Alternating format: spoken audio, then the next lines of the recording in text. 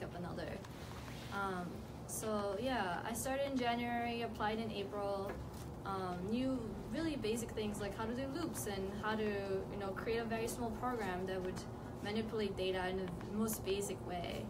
Um, but I agree with, with what you just said. Like people had been coding for maybe a year or two, and some people had just done book done bootcamp prep, and by the end of the first half of the program, we were all at the same level.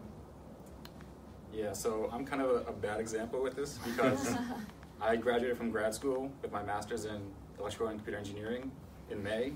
So I had experience from academic, from academy, like what's it called, educate my education, like coding, but it's always like theory. It's not really like applicable to like actual projects or any like full stack applications. So I knew the theory well, but I didn't know how to like really build anything or even like like I literally in the summer before coming here, I learned how to work the terminal, and like that's something very basic that everyone should know before you come here.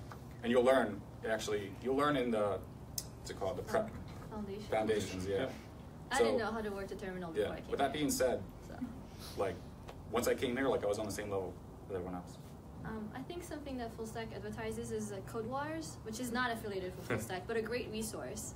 So if you play around with Code Wars and can get to level, I want to say seven, is that the one? Maybe seven or six? Somewhere I around think there. they're. Yeah, because it starts at eight, and then you you work your way up by solving small challenges in JavaScript or any language that you want. Um, so that's a great way to practice. Could you say that name again? Code Wars. Code Wars. So like Code, Code Wars. Wars. Yeah. Thank There's a lot of them. I used also, uh, so I, I'm kind of like, I'm kind of like her, like Elizabeth, when I knew Java, but I didn't know JavaScript. So I just spent some time in the summer learning JavaScript, and the syntax is very similar. Um, so if you know one language, you can learn another one really quickly. And so I just use CoderByte, which is another website that's really helpful and has like practice problems and everything to help you prepare for the actual admissions interview. Um, Rich, do you have any resources that you would recommend to folks that you used?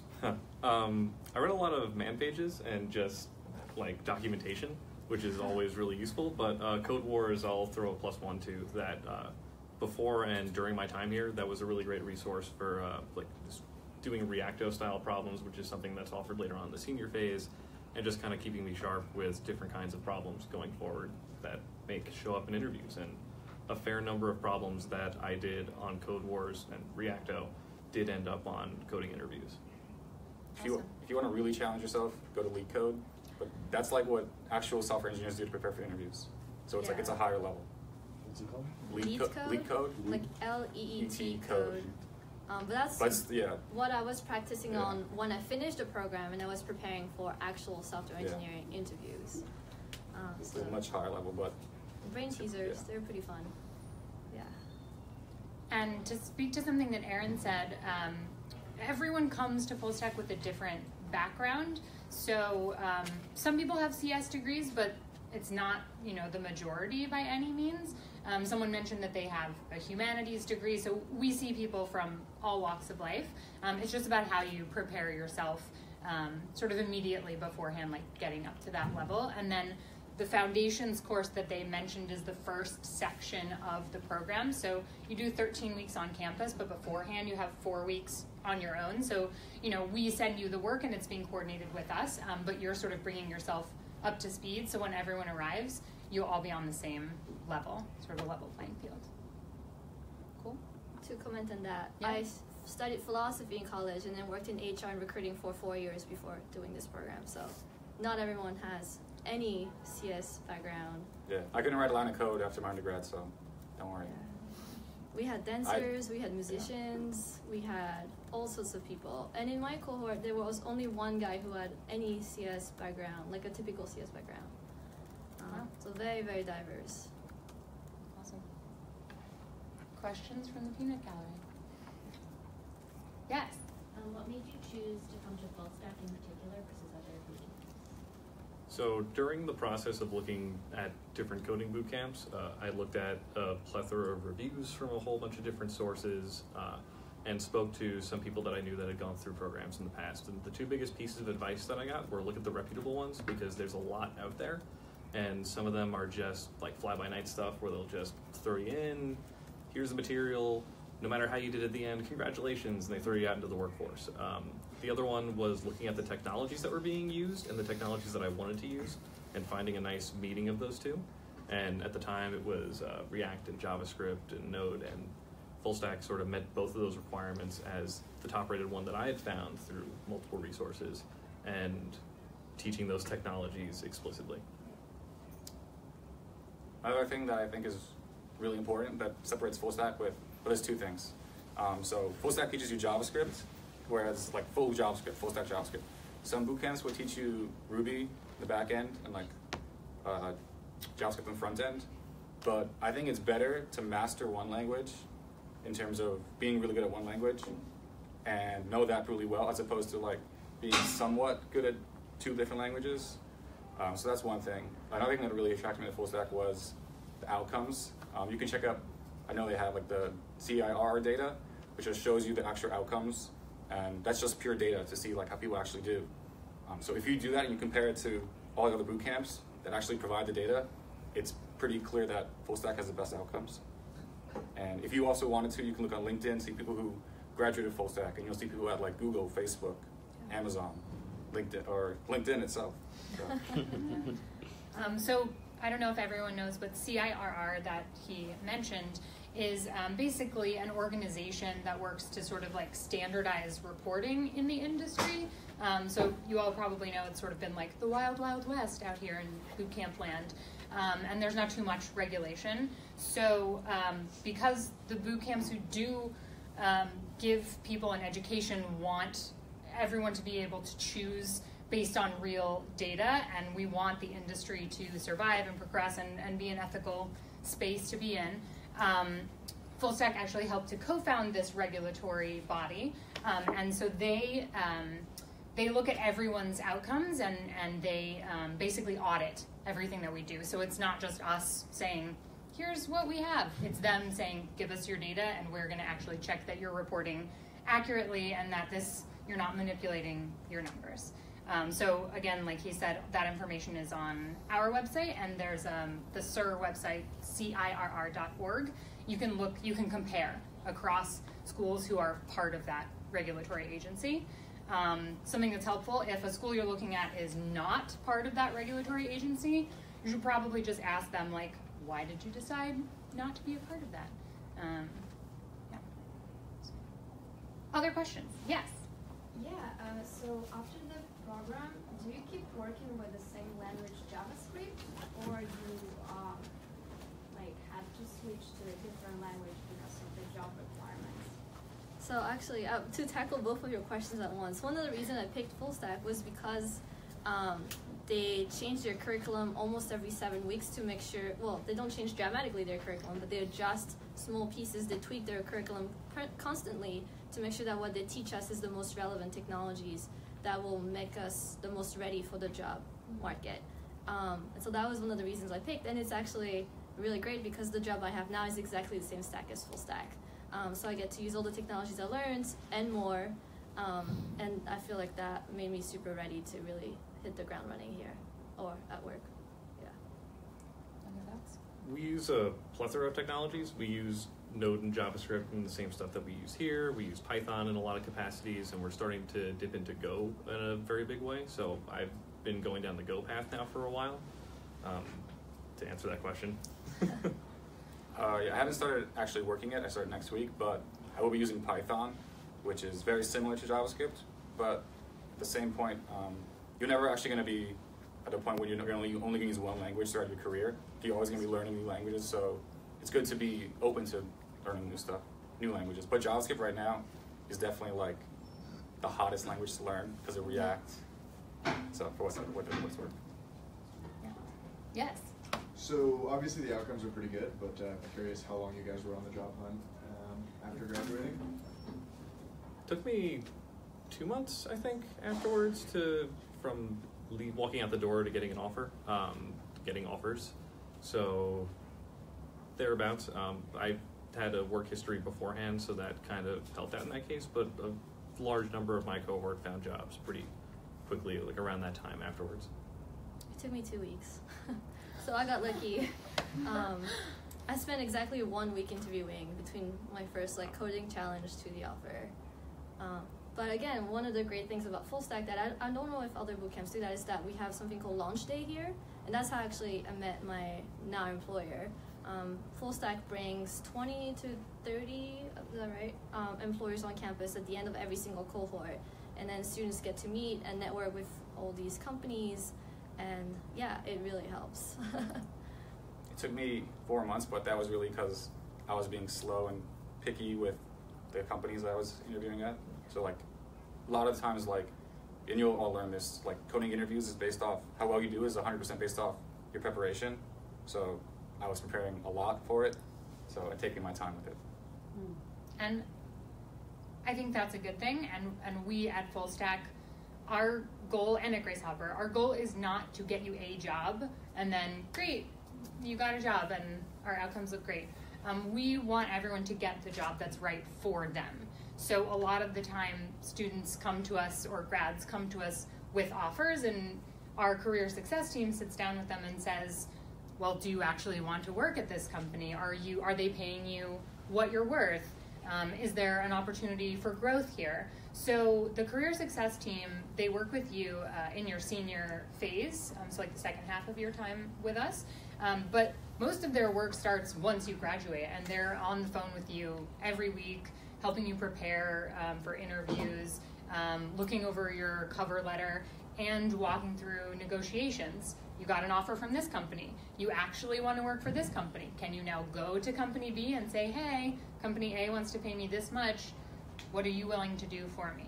Um, so, taking your time and sort of being picky, the way that Aaron was saying, is like sort of the culture here. We want you to find the job that's right for you, that you can be with and grow with for a long time, not just scramble to get a job and be like, oh, thank God, I have an offer. I'm done with this. Um, so that's how that works.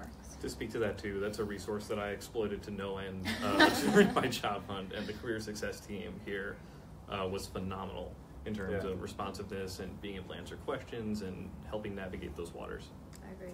I don't know if Rachel, no, Rachel's not here anymore, but I used to annoy her like every week. So I had, I had Jaren on like speed dial. and they definitely don't see it as annoying. Like that's Yeah, that's what they're here for. But every Um, time I was like, I really hope I'm not bugging you. She's like, No, no worries. I would come in, and sit down, and it was great. They're really great. Yeah. And also, like I guess with the job search, you really get what you put in. So like if you're just sitting there applying to, applying to like Yeah. one or two jobs a day, like you're not going to do much. So you have to be proactive in it, and like the more work you put in, the more like results you get. And the alumni community is so supportive. Oh yeah. Um, a ton of people, you know, get coffee chats with alumni, get referred at the companies that alumni are working at, and that's how they, they get jobs. Um, that's a really, really good resource because we have alumni everywhere. Um, small startups, big companies, everything in the middle, here in New York, elsewhere, abroad. So it's pretty awesome. Yeah, I actually didn't even, you know, like those blind applications you send online, like just type in your info and send it. I didn't do a single one of those. All mine were through networking, through people on LinkedIn, or through people, alumni through, through Full Stack. Not to dissuade you from doing that though, because it's Yeah. how I got my job. No, it works. yeah. Again, it's what works for you. Yeah. So our team is going to work with you to figure out like what's your style. Are you applying to 100 jobs a day online? Are you choosing to apply only through connections that you might have? Other thoughts? Hmm? Yes. Hold on, we have a young lady here. Yeah, so are there any things that you know now but you wish you knew before you started the program? Good How, question. yeah, how intensive it is. Uh, being cognizant that it's going to take five and six if you wanted to days of your week, and that's it's a job in of itself to learn. But um, just like really preparing for that beforehand would have been nice. It was sort of an adjustment to be made during the first uh, couple of weeks of the program, but uh, yeah, past me would have liked to have known that. The, the three months I spent here felt like a year. Um, In a good way. In a good way, in a good way. in the best possible way. I made so many friends. I connected to with so many people across cohorts. Um, but it, it like that chunk of time was just dragged on for the best possible. Like it was great. I'm I, kidding. I mean that in the best way. Um, Oh, and, and that the career success team is available from day one, and I would have used them even earlier to sort of talk and figure things out if I had known Yeah. that. You, sir? Do you get into um, development environments and containers and DevOps kinds of things, like getting your code deployed and at all? In a way, we used Heroku for code deployment mostly when we were doing projects, but getting into the nitty gritty of that, we didn't really touch on that in the program. It's sort of out of scope Yeah, for we just learning no kept it JavaScript. simple. Like, if you want to get really crazy, you can learn all this. Oh, you can learn all, and you will probably eventually learn all sorts of like AWS stuff, but that's like its own beast. We did have an opportunity Like to. cloud, is? Yeah. Yes. AWS? Okay. Yeah. We did have an opportunity to work on a personal project at the time, and we were encouraged to go and check out those resources. Like I did a Lambda project for mine, working with like the Alexa and stuff like that. So um, there's an opportunity to do it, and it's definitely encouraged and supported by the the professors, teachers. I'm not sure exactly what you call them. Instructors. Here, instructors here. Right, because the second half of the program is project based, and so you have a hackathon. You can work on your own on whatever you want, and then you have a final like capstone project. And so again, that's a group. That's a group of four, but as a group of four, you can decide to work on one of these new technologies, and by then you'll have all the tools you need to discover and learn and like apply the technology. Yes. Yeah, I actually did have a question about the cloud. That's just a spe- very specific area that I'm interested in. Mhm.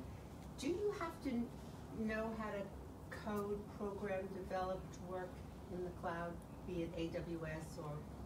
You don't. You don't need to know it. You can learn don't. it here. You can learn it here if you want to learn it here. You can. No, I- you can learn code here, no, I realize that, but do you, to work in the cloud, in the area of the cloud, do you, is it usually require knowing coding? Is it?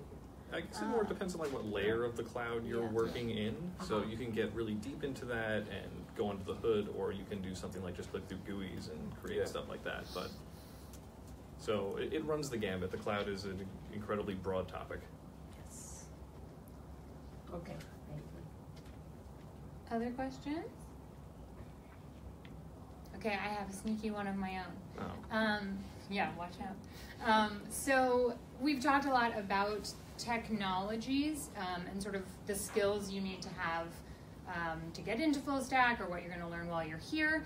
Um, but actually, something that is a big component is like the emotional part of full stack um, and of being at a boot camp you know 10 hours a day for six days a week um, so could you all speak a little bit to the like emotional support the support you get that's like non-technical here Um, I became very close with the people who I was in my cohort with. So we spent lots of nights sitting around here. We kind of uh, shut the place down playing games of like Avalon, and we would just storm into offices and take them over. And uh, hope not my own yeah, interesting yeah, we, we just um, when the coding would stop at nine o'clock at night, sometimes we would just hang out a bit further, and the support was from each of my cohort mates to everyone else. You know, Yeah. Yeah, I would say my cohort was very awesome. It's just like everyone says that, so take it with a grain of salt. But like some of my best moments here were, well, partially one thing is like everyone likes to go to Killarney Rose afterwards, which is like a bar right underneath, which is fun. Like on the on Fridays, so like if you go to Killarney Rose on Friday, it's like filled with full stack people, Yeah. which is fun. And also like just everyone is like it's good to be in this environment where everyone is there to learn and like you're all in the same boat and you're all there supporting each other. So like one of some of my best moments, my favorite moments was like towards the end of my senior phase, we were just me and my, my friends were playing cards. Like like right before the day before our hiring day, we're all just sitting there playing cards, just relaxing because there's nothing more you could do at that point. So yeah, it was good. Yeah, no, same here. Um, going to Killarney's on Fridays, uh, people would bring in their switches, and so we'd play the switch on the external screens. Um, some of my best friends today are people I went to full stack with. Yep. Like spending all day, every day for several months, and stuck in the same room with these people, like really, really creates bonds. And that's the, one of the great things about full stack too is that the cultural fit is just as important as your technical abilities when you actually apply to come in. And so there's a no asshole policy. And so that means that everyone is just really nice and wants you to succeed as much as they want to succeed themselves. And so it's not like really uh, competitive or cutthroat or like they're just in there for their own sake. Like as a cohort like there's a really a, a strong group mentality that forms like even if you don't want it to happen it will happen. Um, you will be friends with these people by the end Very close. um, and so that was really really great and i did burn out like i worked too hard i did not sleep enough but these people were there for me um, when I needed them to be. And there's also what are they called? Um like The student Mel experience. Oh, and like Derek, Derek, yeah. Exactly. student experience um, staff that was so helpful to just make sure we were doing okay. Um, so Yes.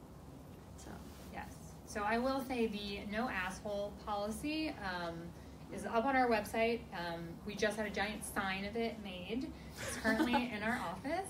Um, and so it extends, it's not just for students. Like, again, we're vetting everyone not just for your technical expertise, as they just spoke to, but also to make sure that you're not a jerk. Like you're really coming here like a rising tide lifts all boats. You want other people to be successful and and and you're willing to to support others and and be supported. Um, but it also extends to the staff. So the instructors give all of their time. They're always responsive on weekends. They're all over it. Um, the student experience staff. Um, not every boot camp has this, um, but basically we have a team of people who just have office hours and say like, "Come, tell me how things are going. Where do you need help? What's going wrong? Where are you being super successful that we can celebrate that?" Um, they plan events um, for the cohorts to to share to sort of work on that bond, especially early as you're getting into things and it's really nerve wracking. Um, and yeah, just the whole academics and admissions team, even to marketing. I have very little um, to do with our students, but I get to know them in the lunchroom and they know what I'm going to have for lunch every day and like we chat. Um, so the whole environment is really here to be mm, qualitative. Like we're here, we're here as people, as humans, and it's like a holistic experience. It's not just about learning JavaScript and getting a job.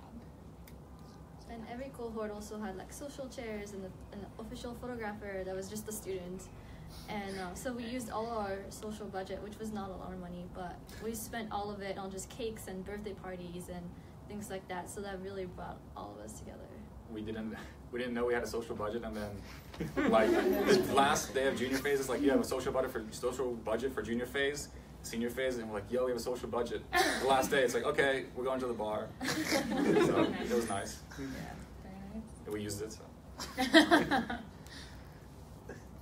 Yes. Apologies if this was discussed before I got here. No, no. For the, the one woman on the panel, um, can you talk about your decision to go to which one you went to, full stack versus Grace Hopper, or Grace Hopper versus full stack? So to make sure you heard. I heard. Okay. So um, I personally went to full stack and not Grace Hopper. Um, there were three of us, females, um, out of 32 students. Um, but all of us had such a great time. Um, because again, no hassle policy. Um, I picked full stack uh, first of all because it's actually cheaper than Grace Hopper. Grace Hopper because you pay later, there's actual interests, so it's a little more expensive. And then coming from, so I used to work in HR and recruiting, which was an all female environment, so I was looking for change um, in that sense. And then also looking at the tech industry, which is mostly male dominated, I also wanted to just you know, get a head start and be in an environment where it's going to be closer to what my job is going to look like eventually. Um, so those are all the things I kept in mind um, when applying, and it was a great decision. I do not regret it at all. I know people are great. Um, so you know, Grace Hopper is on this floor, full is on eleven. So we would bump into each other at Killarney's, or you know, we had we did have events together too. Um, so I know some of the Grace Hopper students, and they had a wonderful time as well. Um, and I know some of their decisions for picking that um, program was the deferred tuition if they wanted to pay later once they had a job. Um, that was a huge decision maker for them. And also um, the all female environment, feeling safe that they could ask questions, they wouldn't be intimidated. For some people, that really mattered to them. I personally felt like if I couldn't ask questions in front of guys, then I wouldn't be ready for my job. So I just was like ready.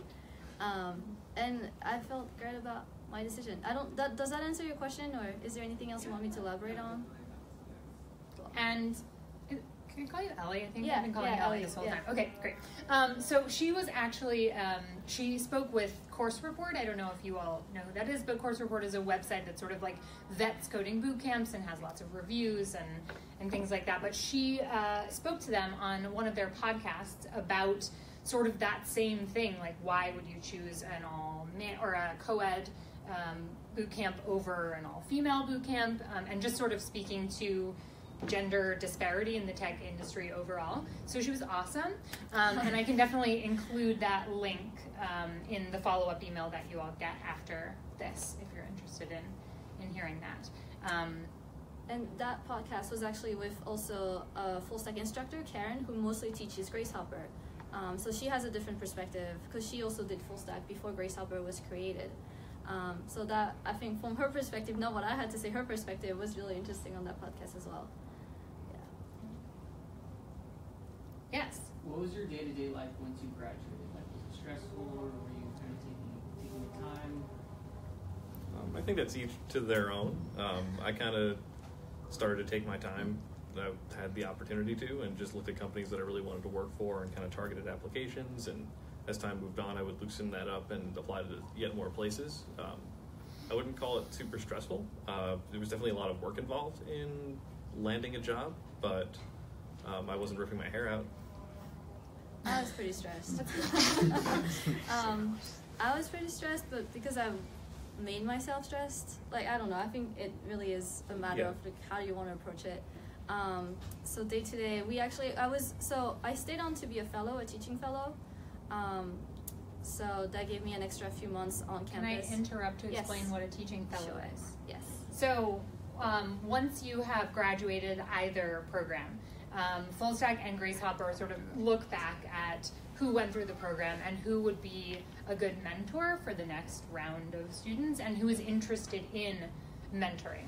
Um, so, some people just want to go ahead and get a job as a developer, and that's awesome. Um, but if you're like, I really love the program and, and I want to help others make it through the way that I did, um, then there is a three month period where you can stay on after and help the next group of students through their program. Right. So working really closely with the instructors and um, leading learning learning teams and things like that. So I got to do that for an extra three months after graduating from the program, um, which is when I really practiced algorithms and did all that preparation on my spare time.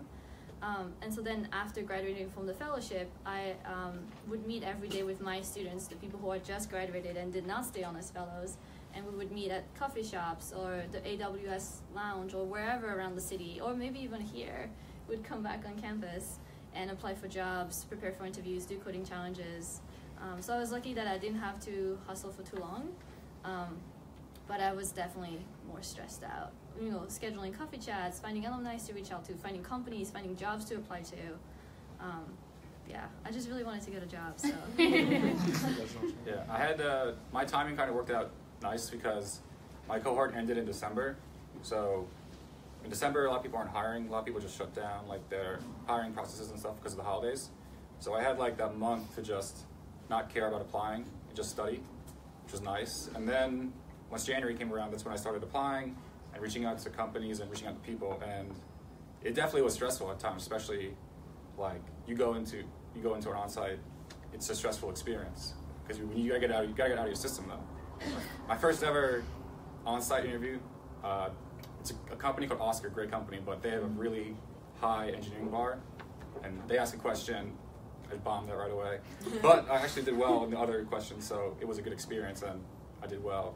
I didn't get the offer, but it was a good experience, and you just gotta learn that it's a process. Like the job search is a process, and it was a it was a great experience. Like I got to go to California because Amazon wanted to interview me, so I got flown up there. That was nice, but it it's a process, and it, as like I was saying, it really depends on what you get, what you put into it.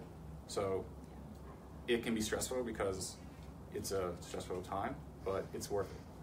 So what kind of questions are you asked in interviews? The standard ones or something? Okay, so this is its own beast. so coding interviews are very different from day-to-day software engineering. Um, Sometimes. yeah. Sometimes they Yeah, are. yeah. With the big companies like Google, Facebook, Amazon, they ask these things called coding algorithm questions, and they are very different from what you do on the, day-to-day. Um, so those are some things you have to prepare, prepare for in its own, in, in like completely different from, and some it relates obviously. You're coding, it's still code, um, but they're different types of problems. They're really based on data structures and algorithms, which is stuff you learn in this program. Um, but you really have to master it yourself to, to do well in that. Because if you if you just go through full stack, full stack prepares you great, but if you if you're not going to be ready to interview at those top companies unless you prepare yourself.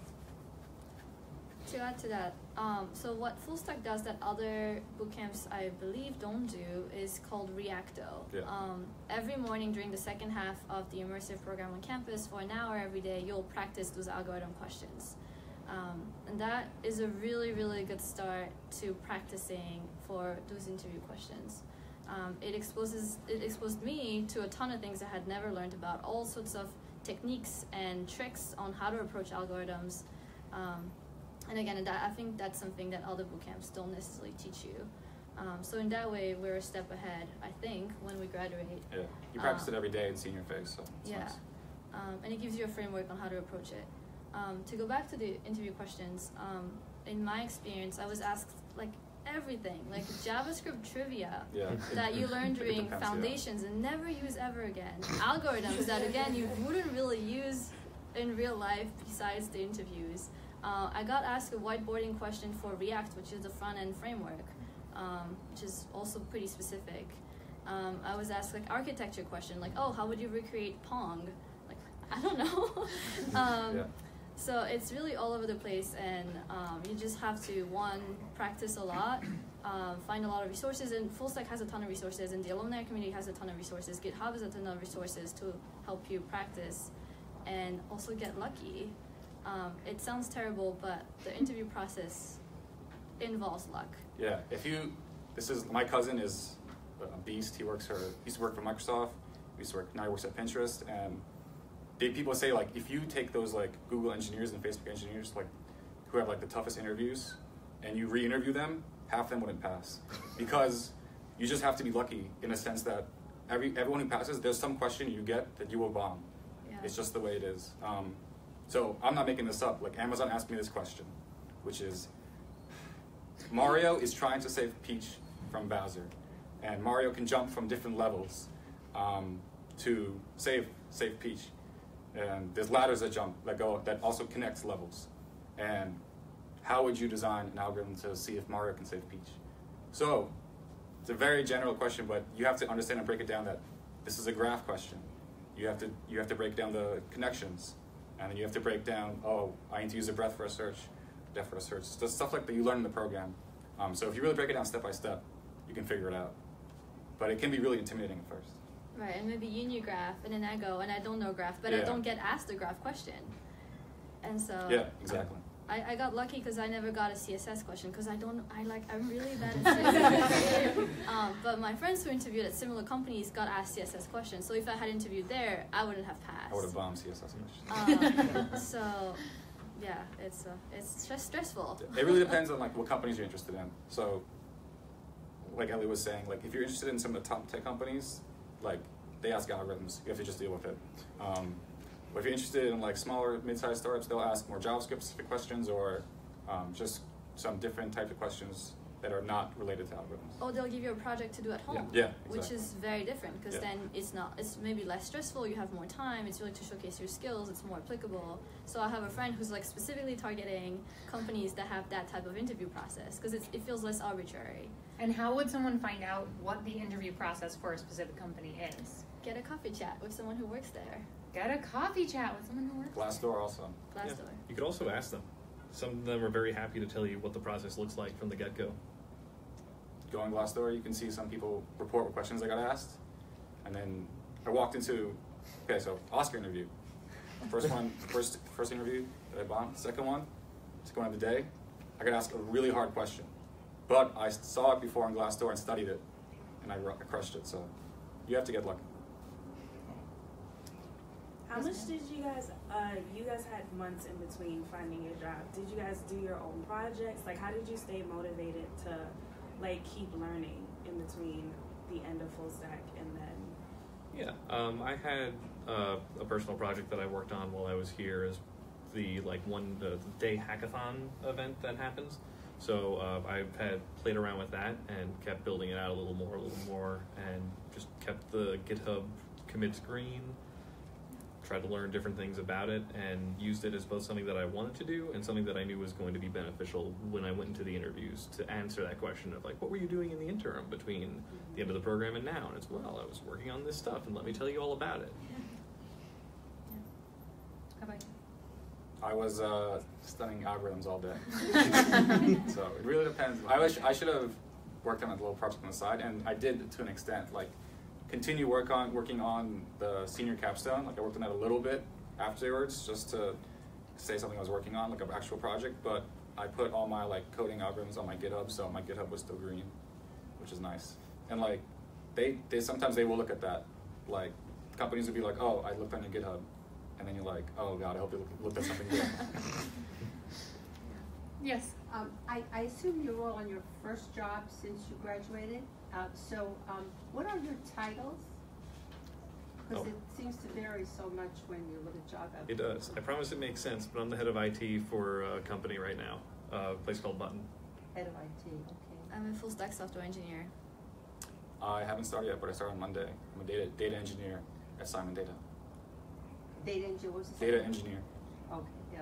So it's interesting, you know, the different titles and they all went through the same program. Yeah, and it, that's going to depend somewhat on the kind of company that hires you. So your title at a startup is going to be very different from your title at Yeah. Amazon. But you're all also doing different things, I assume, right? Yeah, okay. Yeah. Uh, question here in the final. Sure. Um, yeah, so I'm kind of curious what the transition into like the workforce looks like. Do you guys feel like you are on pretty good footing in terms of your colleagues at your new workplaces? Obviously, you're going to be new, but yeah, so it was interesting because the company I was hired at, um, it, it used to be three of them, just two engineers and the CTO, and they hired five of us out of uh, launch day. So I came in at the same time as like four people I was really close to already.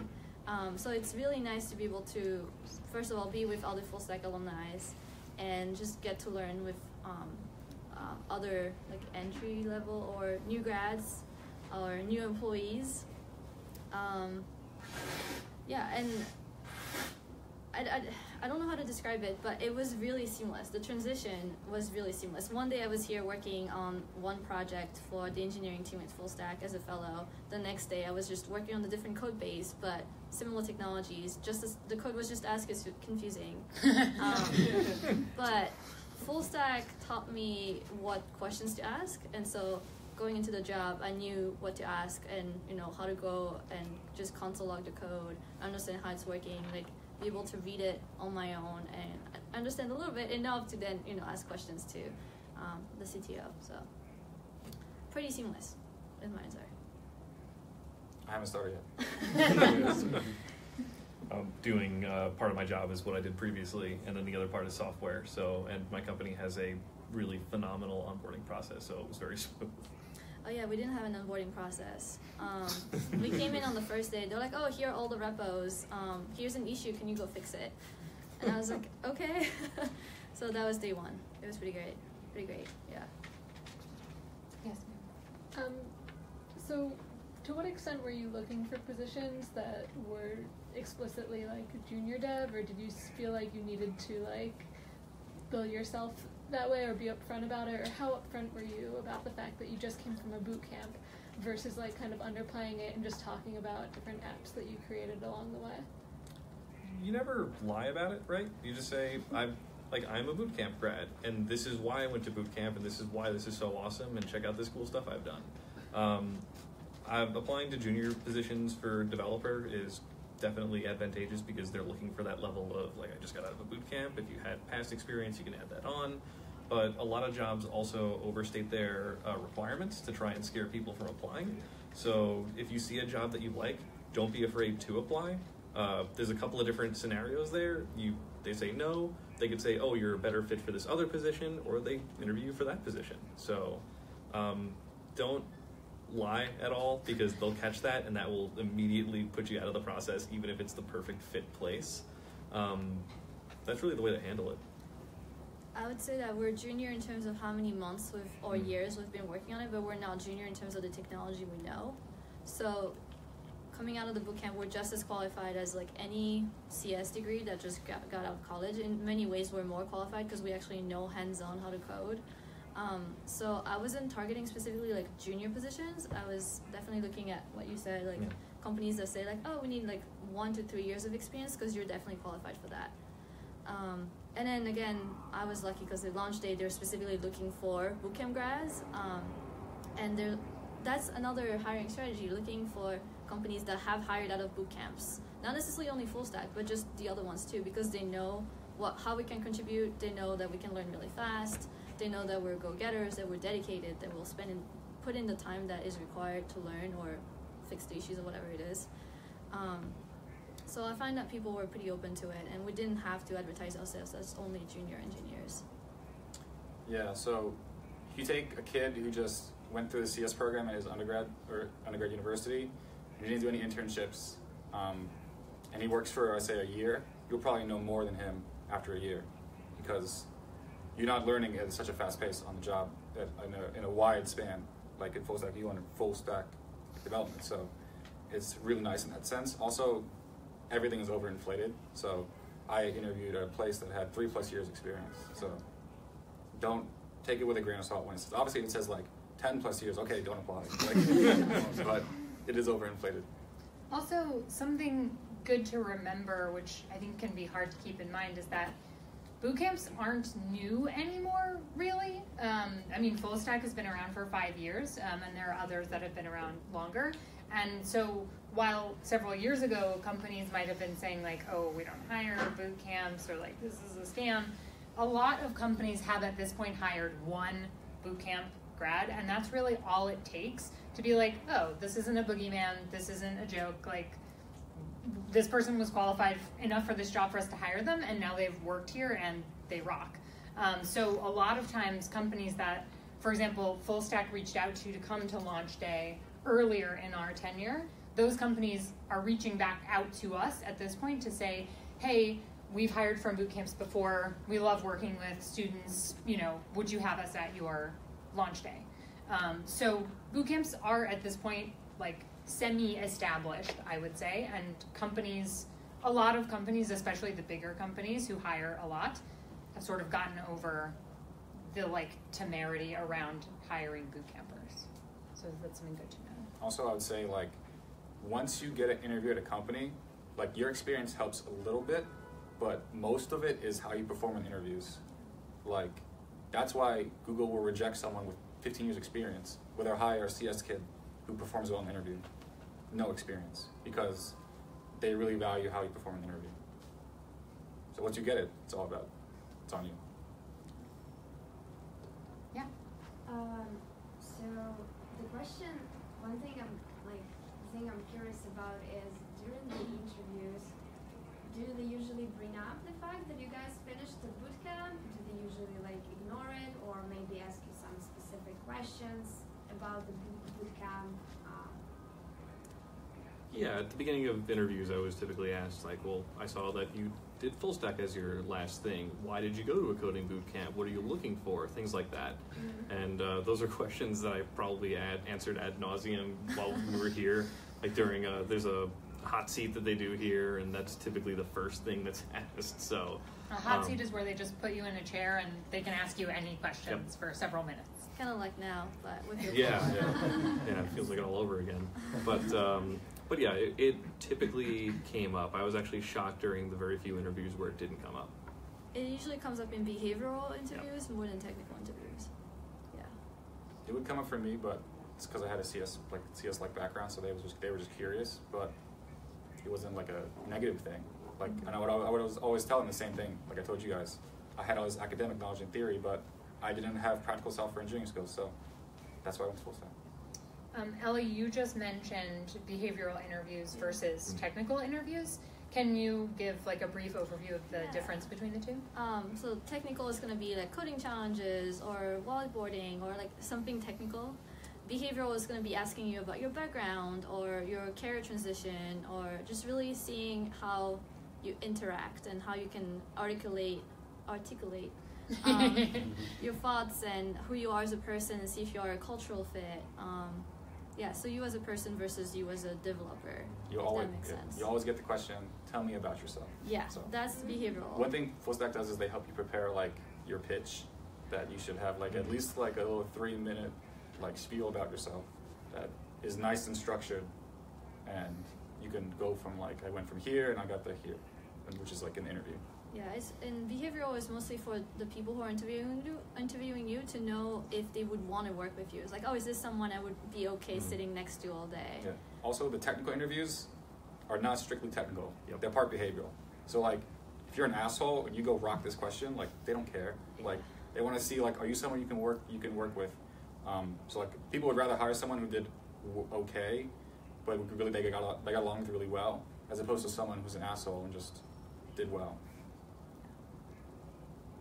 I thought I had seen another question in the back. Did you have another question? Oh, I, yes. Um, how do you, thanks for those of you that came from outside industry. How did you decide what kind of company you wanted to work at? What kind of role you wanted to work How did you decide what kind of company you want to work for? Um, I've worked for uh, a gambit, large companies, medium companies, and startups. Uh, I had a tremendous amount of fun at the previous startup that I was at, so I sort of targeted those and was very picky about like, do I feel like your startup's going to be around in a year or two with what you're doing? Um, so I definitely focused on that. That's not to say that I didn't also try for medium and large companies here and there. Um, I think in every single industry, it more depends, like the company itself matters more than the work that they do or the size that they are. So I, it's very subjective. I guess I targeted companies that I liked. And uh, Career Success will work with you on that Yeah. during the second half of the program to help you target what type of company or to- what type of role would be best fit for you based on your personal desires and experiences. Um, I knew I wanted to work to work for a smaller company. I knew I wanted to do full stack engineering, not just back end or front end. Um, and so that really helped then, you know, target the companies. But also, I applied for everything, you know, like Yeah. bigger companies, like you know, whatever comes around. But then when it came to decision making, I was like, no, this role, this offer I got fits exactly all the criteria I had written for myself before starting the job search. So It's also something that you can't really determine before you go in and meet the company because you could read everything about it and like, oh, this place seems amazing. And you go in for the interview and it's like, well, actually, maybe it's not. Or there's a company that you're like, I don't even know what they do. It's like whatever. And then you go walk in there and it's like, oh, this is actually awesome. And that's exactly what happened. I didn't know anything about the company that I'm working for now before I went in, and uh, it won me over uh, tenfold. And it was something that I would not have. You know, I was not excited about it when I walked the through the door the the first day. same thing happened. But to he me. probably seemed like he was excited. Well, when you have to put on that like, yeah, great, woo! I'm really happy to meet all of you. Um, but it, Yeah. it definitely turned into a place that I was legitimately thrilled to like, It's talk very about. very similar for me. Like a, a very good team and manager was very important to me. And so when I went for this interview, I was like, oh, you know, whatever. It's just practice. And I met everyone. I was like, whoa, this is exactly what I was looking for. Um, yeah. So. Yeah, so Simon, my company was here at hiring day, and I didn't talk to them. So I didn't, at the time I was like, I, I didn't get matched with them, and at the time I was like interested in like some of the other companies that were there, so I didn't talk to them. Then I guess a few like two months after I graduated, I hit up Jaren, who's in charge of uh, career services here, and I was like, could you pass my resume to Simon Data? And then she did, and then I started the process. And at the time, I always was like, I want to work for a big company, want to work for a big company. But in reality, what I was looking for was like three criteria: like a place where I can grow and learn, a place that helps you develop, and just a good culture and good people. And they had they had all that for me, so I was really happy about that. So I, I will get your question in one second. You just said I didn't get matched with them at hiring day. Yeah. So I wanted to touch on. Um, we bring in, like Ellie said, twenty to thirty companies. Um, but we don't have like seventy hours. So you, you say I am interested in these companies and I'm not interested in talking to these companies.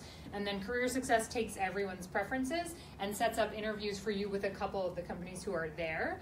And then after that, there's an opportunity, there's like a mix and mingle. So if there's someone you didn't have an interview with, you can go and introduce yourself and be like, this is my resume and I really love your company and somehow I missed you and let's be friends.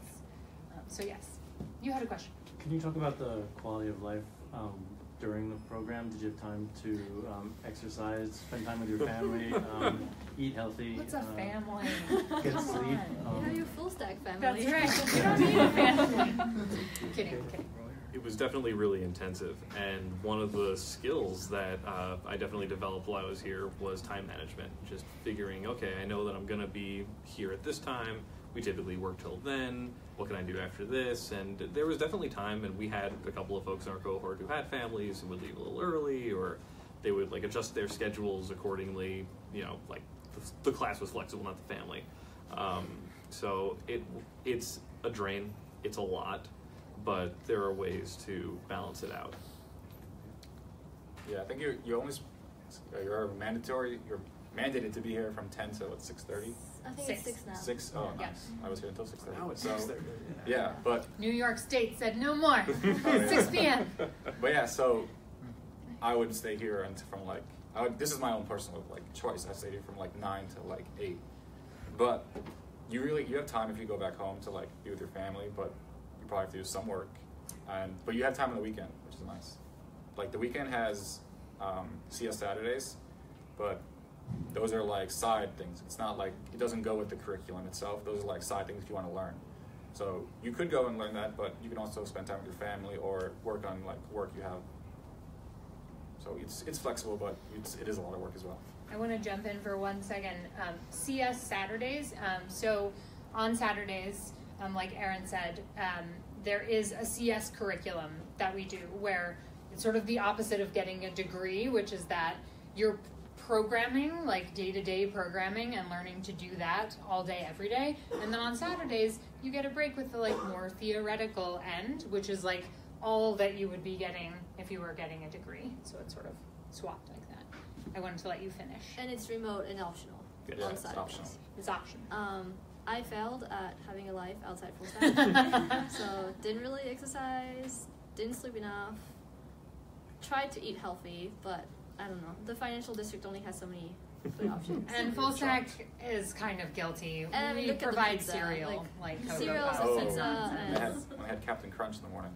So it was pretty good. Um, and I just loved coding too much to the extent that I would spend my weekends working on projects and just do that. So, but again, like I, w- I don't have a family or any like other um, things that took my attention away from full stack. Did not see my friends, made new friends. Replaced Now your it's all friends back- It's all back to normal now. Yeah. all back to normal. Um, but yeah, it was definitely you know kind of like a parallel timeline that just You're like off the grid, but in a good way. Also, something that we tell people is that it's a little bit like medical school. Obviously, you're not going to graduate and do heart surgery, but it is that idea that, like, oh my gosh, this is so intense, but you know that it's for this short period of time, and when you graduate, it's going to have been worth it, and then you'll go back to real life. I was a student over the summer, so we called it the summer camp, where you know you go away for the mm-hmm. summer and then you come back to your regular life, and you had a lot of fun, and met a lot of friends at summer camp. That sounds great. Yeah. That's great. All right, you have had a question, or did you? You answered it. We answered it. You have a question.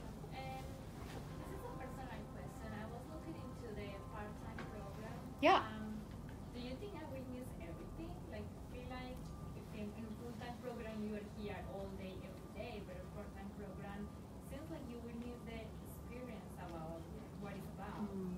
Do you have, do you know someone who took a part-time program?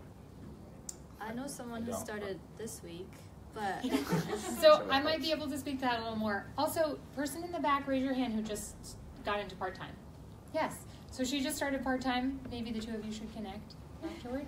Um, we actually had uh, an employee of Full Stack take the part time program, um, and she loved it. It's a little bit of a like you said, it's you're not there with them all day every day, but you're there with them for a much longer time. Um, so while this is three months basically, boom, boom, boom, um, because the part time program is part time, it's a much longer stretch of time. So there's actually um, sort of like a different growth trajectory that you get to experience. Like it's, it's just a different experience, right? Um, so there are pros and cons to each, but it's still a very tight knit group. I mean, every day after work, you're coming to full stack for three hours. Um, so you still spend a lot of time with those people. It's just over a longer period of time. And um, the part time program is interesting because it attracts a different kind of person, right? So these folks were able to say, I'm going to put my life on pause and come to full stack for three months and then go back out into life. Um, whereas part time folks still have a job all day long. They're still growing in their career. They probably have a family. Um, so it's just a different mix of people. Um, and that has its own sort of lovely things about it. Um, so I wouldn't worry about not forming that bond. Um, I actually think one of our part-time instructors is here, so maybe if he's still here afterward, I'll introduce you. Um, but it's it's also a really wonderful, lovely group program. what about recruiting? Is like recruiting opportunities like the same? Yes, anything that we provide in um, sort of the full stack 17 week immersive, the flex program, the part time program, um, th- that community also has access to. Um, so they join launch day, for example, um, they work with our career success team. So all of the same resources, just a different um, structure to the program. Yeah. Other thoughts? Yes. This is also about the part-time, because I was curious about that program. I'm not sure if you can answer this, but. I will um, try. Regarding the workload and handling that part-time, because it sounds like, they were here, you guys were here ten to six, but then later. Yeah. And then managing a full-time job. while- Yes, so that is exactly why the part time program takes so much longer. Um, it's just a much, the pace is incredibly fast when you're in the immersive, the 17 week program. Um, it just moves more slowly for the part time because of all the reasons you've just discussed. Um, you have to have more time, you have to devote more curriculum time to projects and things because you don't have time to stay after. This is your stay after. Um, so yeah, it's a it's a different beast, but it's absolutely manageable, and we've structured the program specifically so that people who do have a forty plus hour a week job can also do the program. Um, like these folks said, it's intense, um, but you know it's X amount of months of your life, and then you will be a software developer, and you will have a new job, and you won't have to stay after that job to do the program anymore. So you have to sort of think of it as that like, I know what I'm getting into, it ends here. I can handle it until then. Um, so the three of you should chat if you're interested. And again, if our uh, flex instructor is still here, I might steal him for a second and try to. Other questions? Yes. Uh, Slightly funny question, but have all of your cohort uh, hundred percent made it through to get a job after finishing the program? So she's asking if everyone from your cohort has gotten a job. Do you all know that information? I can't speak to everybody in my cohort, but the majority of the people that I know had found employment. And you graduated in July of last year. Yes. Okay. Most people have jobs. I think there's maybe like one or two that I still don't have. The two of you graduated in December. I so Recently? I graduated in October. Oh, right. And then And then stayed stayed. on. Um, but then again, like like Aaron said, the holiday was kind of a strange period. So I know a lot of people looked immediately after graduating in October, November, and then kind of stopped for December, January. And then met a bunch of people in February who were just starting to look for jobs again because they had taken like time off for the holidays. Um, so I think there's a couple more that are still looking, but everyone who was actively looking got a job. Yeah, so I graduated in December and at the holidays, so if you count that, starting in January, I've only been like, it's only been like, I guess, three and a half months since um, people could actually like start looking. So not everyone has gotten it, but it really, like I was saying, it really depends on like, how much work do you put in? Like, the opportunities will be there, like, it's a fact, like, everyone gets opportunities. So if someone just went through full stack and they, they just stopped studying and just started applying online, like it might take them longer. But if you put in the work and you're active searching, um, and there is opportunities and you prepare for those opportunities, you'll be fine. And that's um, something I'd like to add about the Grace Hopper program. Um, so, Grace Hopper not only offers deferred tuition, so you pay when you get a job. If you do not get a job within one year, you don't have to pay the money back. Um, so the idea is like they're very invested, and while that's not the case at Full Stack, is our same staff like working with you. Our staff is very invested in making sure you get a job. Um, the career team sits right behind me in the office and you should hear them talking about like i haven't seen so and so in their asana i'm gonna send them an email and make sure they haven't fallen off the grid i don't see that anyone has sent me an email in a week what are they doing let me check in on them so there are there are people behind the scenes who are watching and being like seems like you're struggling. What's going on? Um, so they they will work with you to make sure that they're doing all they can to make sure you get a job. And those CIRR reports we were talking about, CIRR.org, they show you exactly how many people out of our graduates have jobs. So I think um, the last one is for like the the one on our website right now is for the last six months of 2017. So you can see what ratio of people who graduated within the last six months of 2017 have jobs. And that data also shows average salary. Yes. For the record, full the highest. More questions? Are Yeah. recruiters a waste of time? Like those recruiters. Like that third party recruiters? Third party? Yeah. Depends. It very much depends. Sometimes they put you in front of real winners, sometimes they don't. So the ones that will like spam you on LinkedIn, most of the time are a waste of time. But there are some third party recruiters that are really good. Like I worked with one, she was awesome, and she got me an interview at Squarespace, which is like a great company. Um, so it really depends. Um, but at the same time, like you, like the recruiters. Let's say you're interested in Facebook, right? Recruiters at Facebook have LinkedIn's, right? So you can go reach out to them on LinkedIn, and recruiters like that because it shows that you're active and you're not just someone in the system. Um, one thing that can be a problem with the bigger companies is when you just randomly apply. Is like, how many people apply to Facebook a day? Like, are they going to actually get a chance to look at you and screen you properly? So, if you take the time to reach out to recruiters directly, or you reach out to engineers at Facebook who have an incentive to refer you, because if you get referred, if the person who refers you gets hired, the person who refers you gets like a few grand. So, it's very easy. It's not easy, but very doable to get a referral to any company you want, as long as you put in the work. So I used to work as a recruiter, so I have a, a different perspective. Um, third party recruiters, like what they got, they said, like it, it can be really good or it can be really annoying for everyone. Um, the way in is through the engineers. Because so when I used to be a technical recruiter, hundreds of people would apply. And I would work with the engineers to understand what they, the engineers, were looking for. But there's only so much I knew about technology.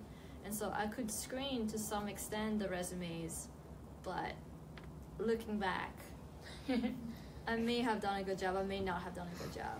So the, the, the best thing you could do is bypass HR. Find a way to bypass HR on the resume screen that they will do. The best way, in my experience, is to do that through referrals. Because if an engineer refers someone for their team or a similar team, they know what they're talking about by referring this person more than I do by reading the resume. So if they think that this resume is worth being referred to for that role, I'll pass it along. Like that person knows what they're talking about. I don't. Um, so that by far is the best way. Um, if I know there's a third party recruiter that is good, I will also trust their submission into my like applicant tracking system. But that sometimes also get lost in the amount of resumes. Um, and I always made a point of going through every single resume that would come into the system. Other recruiters didn't. Um, and other recruiters did not always spend as much time with engineers as I did, which is how I ended up here, I guess, being an engineer myself. Um, yeah, sorry. No, go ahead. Because some companies that get so many resumes that they can't screen have programs that was Yeah. determine if it's someone who should they talk to. So one way to bypass that, like Ellie was saying, is through an engineer who refers you. Because if the nine times out of ten, um, if someone refers you, an engineer refers you to a recruiter, you'll get at least a phone screen or a phone interview. Or at least the hiring manager will look at your Yes, resume and yeah, he exactly. would know what your resume is worth that the HR person might not. I also want to add in here, um, Jaren, whom some of these folks mentioned, um, who is the head of our career success team.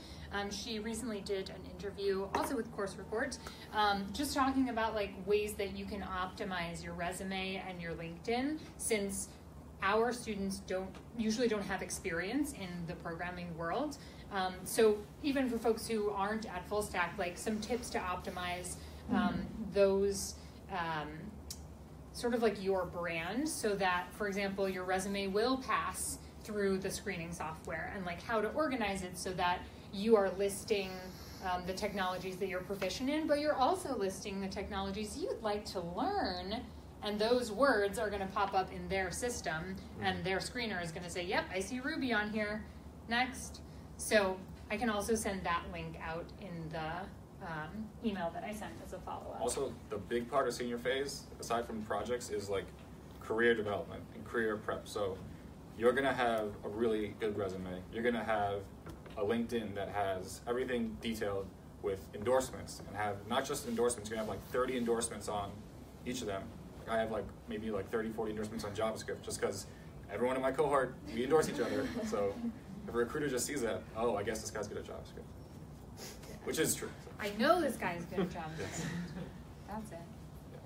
Other questions? We have a few more minutes. Last thoughts? Someone? Yes.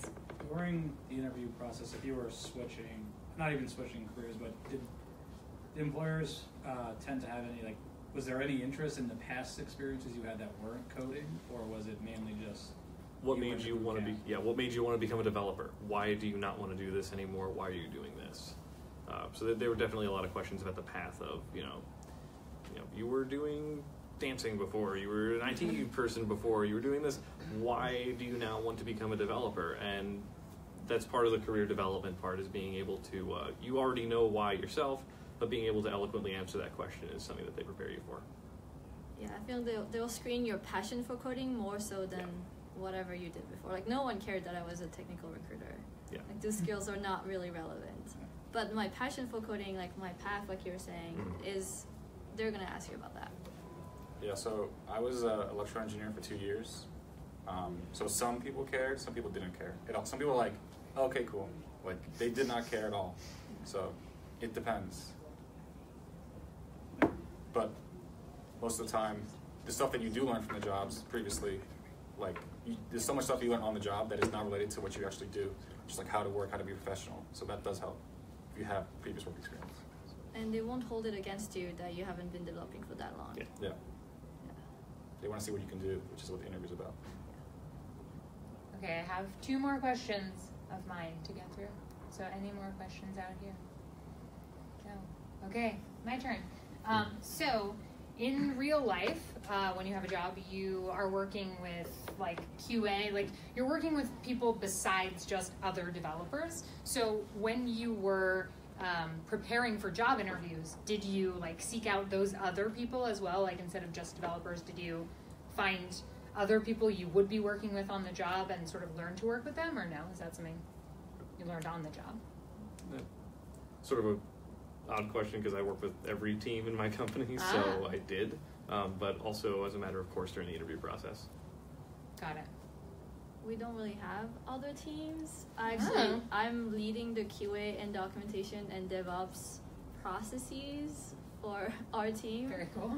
Um, so now I get to learn what that meant, that means. But I guess I worked as a technical recruiter. I worked with the QA teams and some of the other teams before, like infrastructure. So I had some sense of what they were, but I didn't really have time, or I didn't really think about reaching out to them um, because I was so focused on being a software engineer. Sure. Like Yeah. I didn't, yeah, I didn't really know, but Got it. I just reached out to the engineers. yeah. But they're cool. You guys should definitely check that out. Yeah. QAs tell you what's wrong with your code. What's broken. Yeah, they'll tell you your code is Yeah. really bad, and then you'll go and fix it. Um, In a nice way. Yeah, in a nice their job. way. A harsh but nice way. yeah, they, they mean they mean well. All right, so my last question, which we sort of touched on earlier, but what I, I'd like to get a little more explicit with is um, Is there information that you would give or advice that you would give to someone who's going into a boot camp or just looking into a boot camp and like thinking about it? I know you had said like, I want, I should have known how intense it was. Um, but are there other other things that you are like looking back? I wish someone had told me X, or this is the advice that I would give to someone that I learned the hard way. I would say it's tough. It can be very tough at times, but it's very, very, very rewarding, and it's very like I when I was working as an electrical engineer, I didn't really get a sense of pride from my work. I didn't really enjoy it.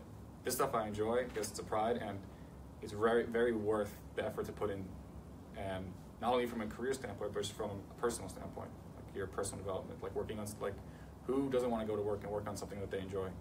Like, I would say picking piggyback on that. Um, make sure you actually enjoy coding. Yeah. um, it sounds funny, but we did have one person who like stopped halfway through the curriculum because he realized this was not for him.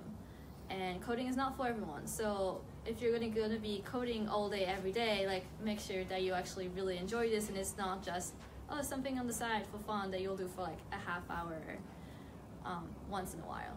So just make sure you have a real passion for this. This is like something you really want to learn that you actually enjoy doing and that you feel energized by doing for a while until until you get tired and then that's fine. um, second thing I would say is once you do enter hopefully full stack or Grace Hopper or whatever program, ask questions. Um, I have a friend who was too shy to ask questions like, oh, everybody else seems to understand. Like, I'll learn it on my own. You don't have time to learn it on your own. Um, if there's something right now you don't understand, like, go to the instructor and ask those questions that you have. Um, because the curriculum goes so fast. And that's one of the things about Flex. Like, you guys would go a little slower. So I hear that people have more time to sleep on the material that you really don't have in the immersive program. Um, so if you feel too intimidated by the instructors to ask questions, like what is it going to be like once you have your boss at work and you're like, oh, you know, I don't want them to think they hired the wrong person.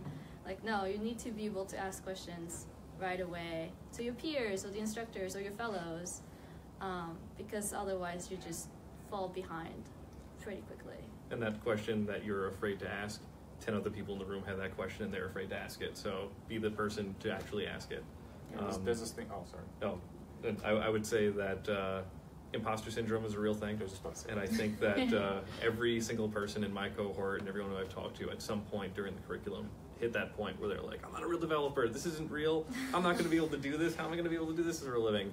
Um, that's not a bad thing to feel. If you look back at where you are at that point from where you were in foundations or beginning or the code you wrote a year beforehand, it's incredible the progress that's been made. You're just not aware of it, and things start to become easier, and you're like, "This feels, oh my god, I don't, this isn't right." Oh, or you get stuck on like a really difficult problem, and you're like, ah, "I want to throw in the towel." Um, everyone around you feels the same way, or will, or has.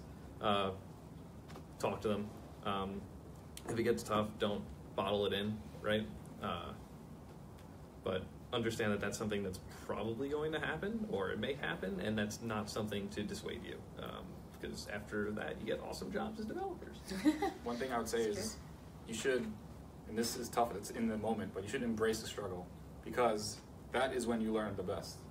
When you do, when you deal with this problem and it takes you half an hour to fix it, like you're not going to forget what you did to fix it. Like you're going to know, and you're going to learn those debugging skills, these uh, problem solving skills that you learned in that pro- like throughout that problem. So it can be a struggle, but if you embrace the struggle, you're going to really benefit from it. Also, you're going to feel damn good about yourself once you finally get through it. oh, everyone has that. Everyone has that. They say like these aha moments, where like you you like are so confused in something, and then eventually you figure it out, and it's one of the like the best feelings because you're just like, oh, that was it. It's not that bad. One thing I will add, um, we were saying like no assholes is a big value here. Another value that we live by is that we want to make you happy, but we're here to make you better. Um, so the program will push you. Um, and the program will say, No, I can't tell you the answer. Keep trying. Figure it out. You're going to get it. And the team is there to support you while you're going through that. Like, we know it's hard. No, it's not a competition. No one's cutting you. It's not a judgment if you can't figure it out. That's part of the process, and you have to trust the process and really um, know that you're going to come out on the other side because everyone does. Um, so, so we're really here to support your struggle because the struggle is really important. So, yeah. Any last thoughts before we give a massive round of applause for these three people? Oh, yes, we have one. I was just curious, um, the thing that you're talking about that happens on Saturdays, um, because like I have a, a job that I'm trying to work in my head, like how I could do my job. in Yes. Um, what time is the thing on Saturday? That's a really good question. Do you you all remember what It's time? like it's like yeah, start later in the day. ten to four, but it's like very optional. Yeah. Like, I didn't go to a single one. So. It's also like It wasn't a Yeah. Most people don't go. They're to cool. that. I shouldn't say that, but it's also like not a big attendance thing. Yeah. So because it's optional, you can go into it, check out the topic, see how they're teaching it. If you like it, you stick with it. If you don't, it's not, they're not going to be like, "Where were you on Saturday?" It's No. just yeah. Most people do the first one and then stuff. Yeah. But it's really cool, and It is really should Oh, yeah, do that. it's cool. No, it's I did all of them. It was one great. of them I, I should have gone to was like a machine learning one that, that would have been really great. Um, there's one in algorithms. There's one that one on Which is algorithm is really good. good. It's taught by a full stack alum who now works at Google, Yeah. and he's really good. So that's the one you should really do if you're gonna do any. Do all of them. Yeah, they're all great. Yes. I had a couple more questions. Um, the Grace Hopper thing versus um, the other.